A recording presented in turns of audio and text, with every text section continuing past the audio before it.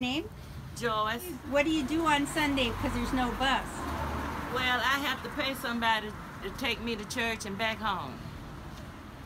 We need 204 to run on Sunday out here because there's a whole lot of senior citizens can't hardly walk and get around. We need a bus to get to the doctor. And then we need a bus to get to the grocery store and people need to get a bus to get to work on Sunday. Cause it's a bunch of senior citizens out here don't have cars, like me.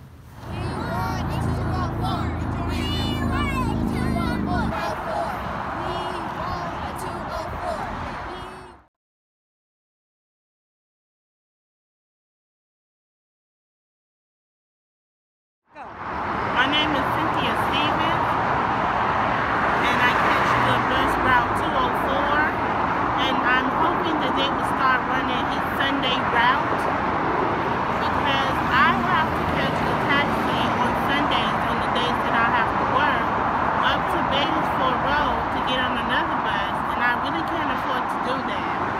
Also, the 204, if we need to go to the store, to church, to visit family members or friends, we don't have a bus to come back here off the I-85